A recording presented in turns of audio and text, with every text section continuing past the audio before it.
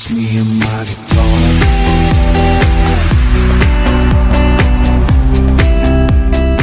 Hey, what's happening guys? Mark here from Mark's Aquatics.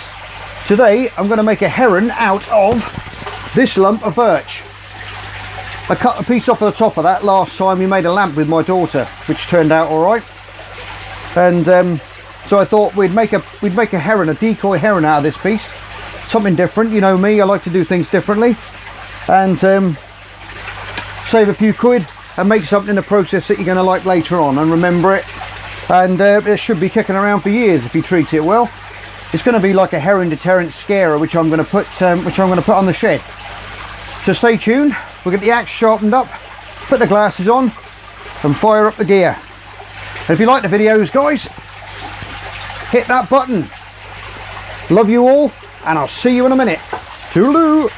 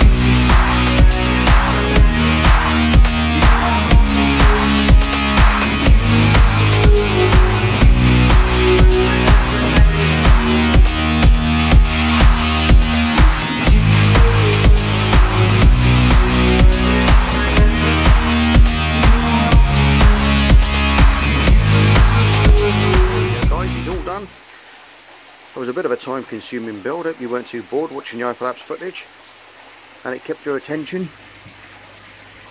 But he's all finished. I've got some nice um, glass eyes in there as well, which I've got off eBay.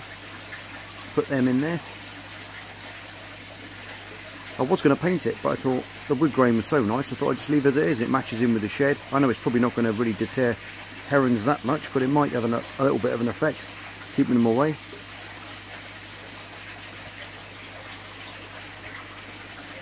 But it was a good, fun little build.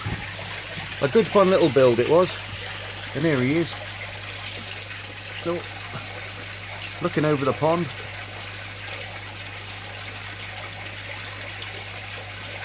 Ah, it was a good fun. Good fun little build. Hope you enjoyed it. I've given it a couple of coats of uh, oil, which will stop it from um, stop it from splitting and keep the rain off. The feathers I used on the top were little very fine um, slithers of wood off of a piece of 2B2 which I just cut off and um, glued them to the top and then sanded them in so they uh, they look like they're coming out. But I've soaked it all in oil so it's going to it's quite well treated now so that should uh, that should stop it from rotting. And it should be up there for many years to come with a regular treatment. Like I said before hope you liked the video. Please like share subscribe if you do. If you're new to the channel go back and check out some of the other videos I've done there's all kinds of stuff on there you can check out. And as always I love you all you all stars. Take care of yourselves and I'll see you on the next video. Bye for now. Just me and my guitar